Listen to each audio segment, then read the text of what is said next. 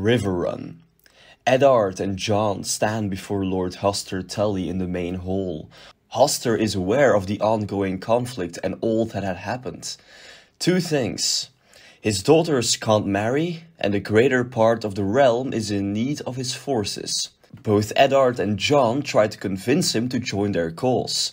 King Aerys murdered good friends of his, loyal friends, and, luckily enough, it doesn't take long before Hoster to agree. Yet he still addresses the issue of marriage. Not to mention Robert Baratheon is lost in the wilderness somewhere. Jon promises the man that his marriage to Lysa will still happen, yet he can't say anything for Catelyn. After some discussing, Eddard eventually takes a deep breath and claims he will take Brandon's place. He's Lord of Winterfell besides his brother Benjen. It should be him, it's right. Catelyn, who is standing at the side, doesn't know what to think of that. She looks at Ned with uncertainty. Hoster, however, finds it a good idea and accepts Eddard's proposition. Both Ned and Catelyn share a rather awkward look at each other. With that being said, Hoster also announces he will rally his troops and march with both Jon and Ned against the king. As Jon and Eddard make their way back to the army camp, they still have the issue of missing Robert.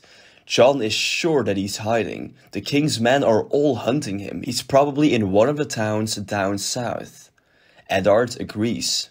So that's where they will go. At Stony Sept, Robert again sits downstairs in William's house. He has a bit of fun banter with William's children. Robert still has his wound in his side, but it's all healing well. The five of them again have something to eat and enjoy a warm atmosphere. Later, a man knocks on the door and informs William that there has been words.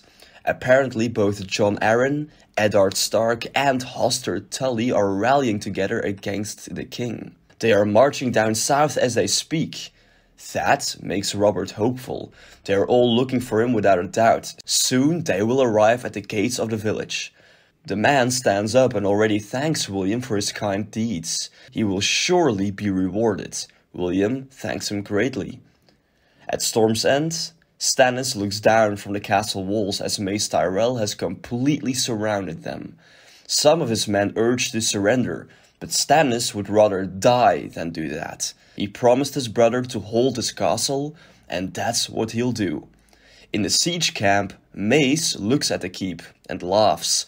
He will make sure no food or anything reaches the inside of those walls. Soon, they will all starve, and that will make them surrender. Mace is confident and sure of himself. All the while, Stannis growls at the man from afar. He begins to give orders to start to ration their food supply. They will stretch it out for as long as they can. At King's Landing, Aerys sits in his chamber with several of his commanders. All of them have prepared the city for a possible battle. Aerys is confident that the rebels will never even make it so far. They must strike again and harder than before. One of the generals claims Mace Tyrell has laid siege to Storm's End, while Randyll Tarly searches the Stormlands for Robert Baratheon. Aerys suggests to send reinforcements to Randyll's position. If they can capture Robert, they have their chance to win the war. Elia lies in her chamber while being treated by several nurses. She's holding her newborn son in her hands, called Aegon. Little Rhaenys also sits on the bed. Elia smiles at the two of them, yet she feels empty now that her father is nowhere to be seen or heard. She notices Aerys walking past the chamber. He quickly looks inside, seeing Elia's two children. He gives nothing but a sour look to them. It's at this moment that Elia truly feels like an outsider. At Stony Sept, Robert sits in his chamber upstairs while checking his wound. It's getting better and better. It won't take long before he's fit enough to fight again. Suddenly, he hears noises coming from outside. He hears people shouting. Apparently, there are men at the gates. Robert immediately jumps upright and heads downstairs. Eddard and Jon are there. He knows it. He and William both run into the streets to look for themselves. Several people open the village gates. Only to see Randyll Tarly and his men march through. Upon seeing them in the distance, Robert freezes and immediately runs back inside. William orders him to shut the door and hide the children as well. Randyll sits on his horse as his men spread out through the marketplace and various streets. He announces that they are looking for a fugitive, Robert of the House Baratheon. He was wounded in previous battle and is a great danger to the realm. Anyone who could give him his whereabouts will be greatly rewarded. Yet everyone stays silent. Even when Randyll starts to name the exact amounts of money, no one says a word. The Tarly men all spread out and start to search through the streets. Robert and William's children hide inside their house, especially Robert is extremely nervous. After several attempts to persuade some people, Randyll Tarly sighs and announces that he will stay here with his forces until they have found the fugitive. They are certain he's here. The longer they have to wait, the worse it will be for the villagers. William heads back into the house and finds Robert. After calming down the children, he says how Lord Tarly is staying here. He won't stop at nothing to find him. Robert can feel his heart thumping. He doesn't stand a chance alone. He can only pray for Ned and the others to get here as fast as possible. Outside the village walls, Randyll sets up his camp. Some of his generals ask him why he's so certain to look for Robert in this place. Tarly is dead certain. They tracked him all the way to this village, and it's the only place in the area where he could have gotten help. They will search this town from top to bottom and use drastic measures if they have to. With an iron fist, the Tarly soldiers all searched through the village, invading houses, questioning people, sealing off the entire village. No one leaves or gets in. Villagers are taken out of their homes. Some even resist but get forced against the ground or a wall if they don't cooperate. And while all of this happens, Robert is forced to stay inside, feeling bad for all the people out there who must suffer because of him. Between the trees, two lone riders spot the village of Stony Sept. They stay close to the ground and look at the entire site, the army surrounding the whole complex and all the Tarly banners in sight. The two riders eventually urgently head back the way they came from. At King's Landing, Aerys again walks through the halls. He enters a chamber where his little son rests, only to see he's not there. Shocked, he runs outside and orders several men to find him immediately. However, he quickly spots Rhaella standing on one of the balconies, holding Viserys in her arms. Aerys walks up to her and immediately grabs him, taking him back to his chamber. Rhaella claims she only wanted to show her son a bit of the world. The king won't have any of that and curses her for being an idiot. An assassin only needs one good shot to undo everything. It quickly escalates into another fight between the two. They stand alone in the chamber of Viserys as Aerys curses her for all the gods to hear. Barristan and Jaime stand outside, powerless to do anything. Rhaella now also curses her husband for being a fool. A fool for thinking he's a god himself, let alone a dragon. After hearing that, Aerys strikes her down again. Baby Viserys starts to cry while watching. Before Aerys can strike his wife again, Rhaella warns him. If he puts another hand on her, she will undo the life that rests inside her.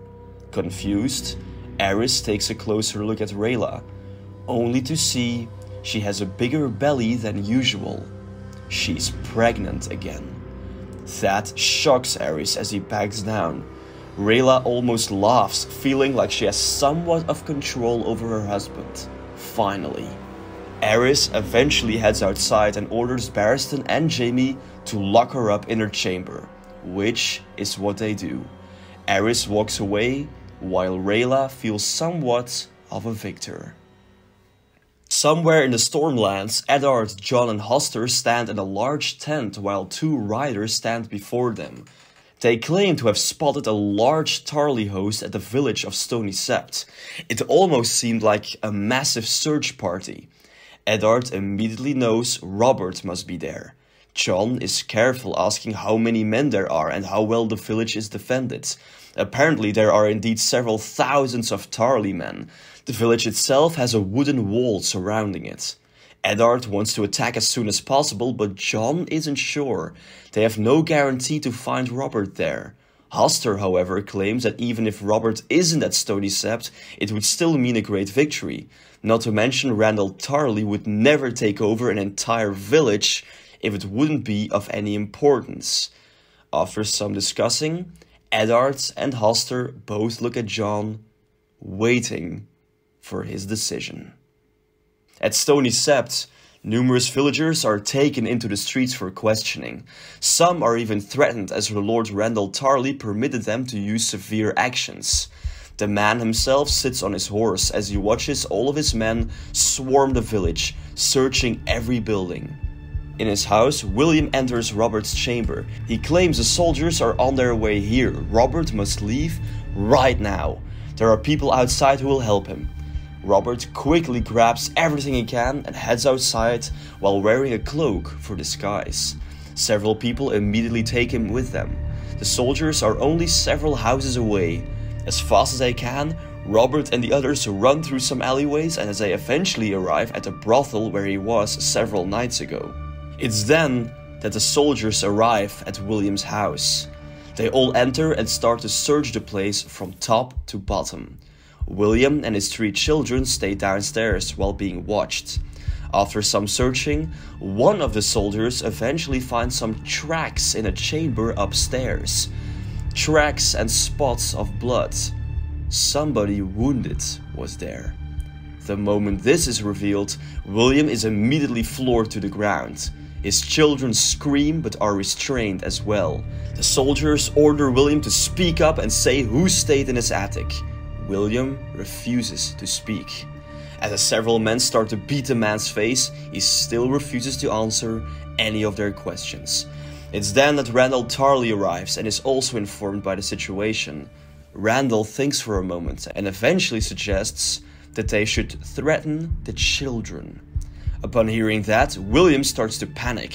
He urges them not to hurt his sons, but yet he won't answer any of the soldiers' questions. As they beat him again, the children start to scream. It all turns into chaos now. The soldiers punch William again and again, holding the children tight. Everyone is screaming and yelling around them. Until suddenly, the bells start to ring. Everyone stops. Randyll turns around on his horse and looks at the bell tower. Several villagers start to ring the bells as loudly as ever. Then, shouting and yelling is heard. Randyll immediately rides to the village walls. All of his men are panicking as they run through the gate and into the village. Tarly jumps off his horse, having no idea what's going on. He heads to the top of the wall and sees a massive army storming from the hills. Stark, Arryn, and Tully banners all waving in the air, and even Baratheon banners as well. Randyll suddenly feels panic inside him as he ordered his men to close the gates of the village. In front of the massive host, Eddard and Jon are riding their horses with their swords in hands, roaring loudly. Before the men can even close the gate, the cavalry storms through, mowing down soldier after soldier. Randyll watches his entire plan crumble down in front of him. All he can do right now is order his men to fight back, which is what they do. Ned sits on his horse as he cuts down soldier after soldier. We follow the Stark man with a long, continuous shot while he rides on his horse to the marketplace, cutting down everyone on his path, much like the scene with Jon Snow during the Battle of the Bastards. Until his horse gets impaled by a spear and Ned falls down to the ground. The spear soldier wants to stab Ned as well, but then gets cut down by Lord Hoster from behind. Tarly also jumps down from the wall and starts to slash through every man that meets him. The entire village of Stony Sept is swarmed as the rebels ride through the streets. All of the villagers close their doors and windows as they hide inside. William is also taken inside by some others, including his sons. They also close the doors for protection. Robert also hides inside a brothel as he hears all of the sounds of battle outside. He thinks and thinks, wanting to go out there and help his friends. But the people among him claim he can't, he's not even fully healed. It would mean his death. Robert knows and contemplates every decision he could make. The battle is hectic and fierce. Rebels fighting Tarly soldiers in the streets, in the marketplace, even on the rooftops. Everywhere. Some have lost their weapons and even fight with their bare hands. In the marketplace, Ned fights with his longsword. He suddenly spots a massive Tarly soldier, a giant of a man. The giant comes storming at him, swinging a massive sword of his own. Ned tries everything he can to evade him, diving to the ground, dodging to the side. The moment he slashes with his longsword, the giant strikes him down and throws the sword away. Disarmed, Ned runs back towards some houses, the giant roaring as he pursues him. Inside one of the houses, a hiding family screams as Ned is thrown through one of the windows. The giant storms through the door as the family runs away upstairs. Eddard tries everything he can to get away, but it seems like there's no stopping this monster. Eventually, the giant grabs Ned by the throat, preparing him to die. Eddard grabs the first thing he can find a hammer.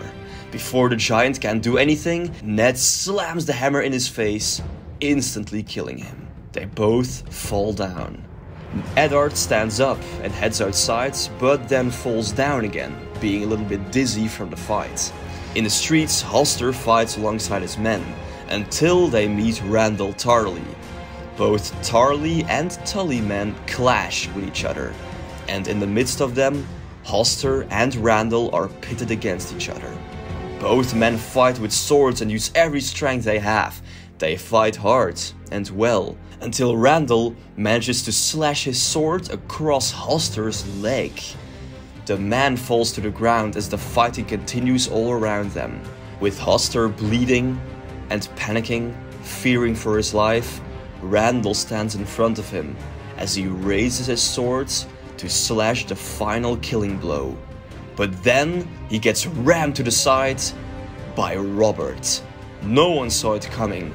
Randyll is startled to see Lord Baratheon standing there with a sword of his own. The young lord looks with vengeance in his eyes. Here I am! With the sound of a thousand voices, Robert storms at Randyll and completely unleashes on him. Hoster can hardly believe what he's seeing. Not only that, but also the fact that with Robert come hundreds of villagers, all men and boys storming through the streets, all armed with hammers and pitchforks and spears, fighting alongside the rebels against the Tarly men. Whatever chance Randyll had, it's gone now. Lord Randyll fights against Robert in the midst of all the chaos, but his men are overrun. Many of them even jump on horses and flee out of the village. Randyll shouts at them to come back, don't retreat. But there's nothing he can do. Robert keeps on slashing and stabbing and unleashing all his fury on Randyll, almost defeating him. But then Randyll manages to kick Robert back and runs away himself. Robert pursues after him through the streets all the way to the marketplace, but then Randyll jumps on a horse and flees with the rest of his forces. Robert roars loudly, cursing him. The battle is done. All the rebels and villagers stand in the streets and marketplace. Jon barely has a scratch on him. Eddard has recovered from his fight, and Hoster is being helped by his fellow men. But nearly all of them look at the village wall, where Robert Baratheon stands with sword in hand. The wind going through his hair, plenty of soldiers even look at him, if he is their own king, the true king, the king Robert Baratheon.